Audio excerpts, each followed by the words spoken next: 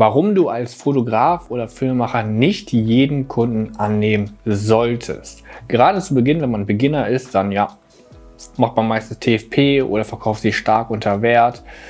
Kann man am Anfang, um erstmal reinzukommen, und du lernst ja auch fleißig dabei, zu Beginn mal machen, aber langfristig, sobald du deine Qualität auch gefunden hast und gute Arbeit ablieferst, nicht mehr.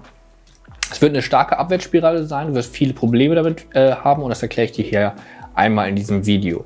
Zunächst einmal musst du auch deine Preise verteidigen. Ja? Du hast natürlich für dich dann auch einen Preis schon äh, erstellt, deine Angebote erstellt und du musst diese Preise auch verteidigen.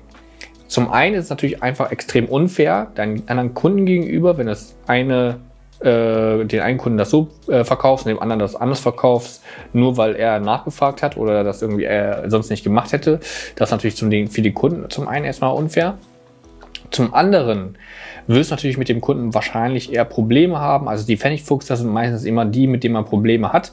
Und zweitens, ähm, ja, wirst du auch dieses Gefühl haben, der hat ja nicht so viel bezahlt und so. Wenn das halt immer wieder machst, irgendwann, äh, ja, denkst dir auch so, ja, warum soll ich denn jetzt hier nochmal eine Korrekturschleife machen? Warum soll ich doch mal mit ihm telefonieren und hier nochmal was anpassen, wenn er sowieso so ein Pfennigfuchser ist? Ja, also es ist so eine eher so eine Abwärtsspirale, da verliert man auch so ein bisschen Spaß daran.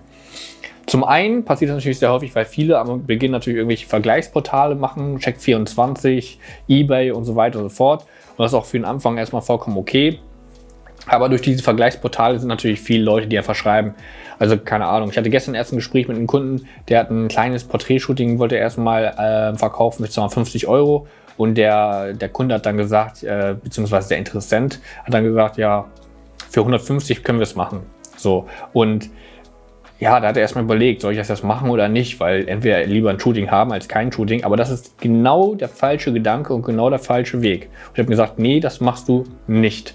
Weil wie gesagt, das ist zum einen unfair gegenüber den anderen, dass erst 100 Euro günstiger bekommt als die anderen. Warum?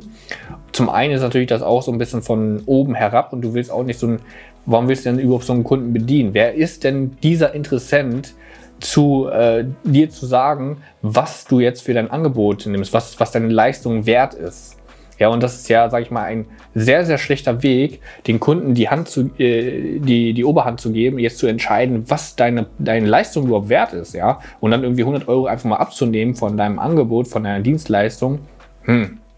Sehr, sehr schlechtes Geschmäckle. Das Problem ist, viele lassen sich darauf ein, aus den genannten Gründen, weil die sagen, lieber ein Shooting haben als kein Shooting haben und dann äh, ja, kann ich zumindest fotografieren, ein bisschen was in die Tasche bringen. Aber es bringt diese Probleme mit sich. Ja, es bringt diese Probleme mit sich, dass vielleicht irgendwann mal Kunden miteinander kommunizieren und sprechen oder äh, dann dementsprechend eine Weiterempfehlung dann kommt, der der 150 Euro dann bezahlt hat und sagt, hey, geh da hin, ich habe das für 150 Euro bekommen, eigentlich bietet das für 250 an, du musst ein bisschen mal nachfragen, dann kriegst du auch günstiger. ist ja auch so ein bisschen schlechter Ruf, wenn alle Leute dann wissen, okay, man muss nur mal kurz nachfragen, kriegst dann günstiger, weil du dann sowieso ein Shooting machen willst. Ähm, und ja, wie gesagt, das macht irgendwann auch keinen Spaß mehr, weil diese Leistung, die du erbringst, ja, auch wenn, sag ich mal, ein kleineres Porträtshooting erstmal natürlich nicht so aufwendig ist wie ein großer Imagefilm oder so oder ein Hochzeitsshooting, aber trotzdem, Du musst eine halbe Stunde, Stunde vielleicht noch Vorbereitung machen, du hast eine Stunde Shooting vielleicht, je nachdem, was, was natürlich gefragt ist, aber ich sag mal so im Durchschnitt. Dann hast du nochmal ein, zwei Stunden Bildbearbeitung anschließend, mit dem Kunden musst du mal sprechen, vielleicht will er dann noch irgendwelche Bearbeitungen oder sowas haben. Du bist ja viele Stunden an diesem Shooting dran. Und ähm, dann irgendwie sich dann nochmal drücken zu lassen und dann seine Leistung irgendwie nicht richtig anerkannt zu haben, das ist einfach nicht das Richtige.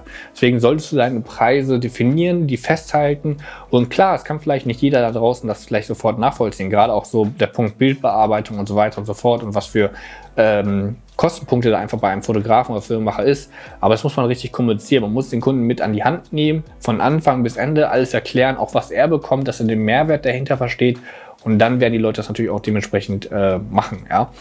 Wenn du es nicht machst, ich verlinke dir mal hier ein Video, da sprechen wir dann darüber, wie man dann dementsprechend den Spaß verliert, wenn man nur noch an solche Kunden gerät. Schau dir das gerne mal im Anschluss an. Da solltest du auf jeden Fall nicht hinkommen. Und wenn du natürlich als Fotograf und Filmemacher dich weiterbilden möchtest, vielleicht erstmal fotografieren lernen, welche Kamera, Blende, ISO, Verschlusszeit, wie geht das?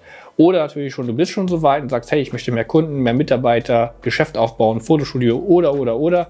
Schau dich gerne mal in unserem Shop um, da haben wir alles, Bücher, Hörbücher, Videokurse, da wirst du schon das Richtige für dich finden. Schau dich gerne einmal um, da wünsche ich dir viel Spaß dabei und bis dann.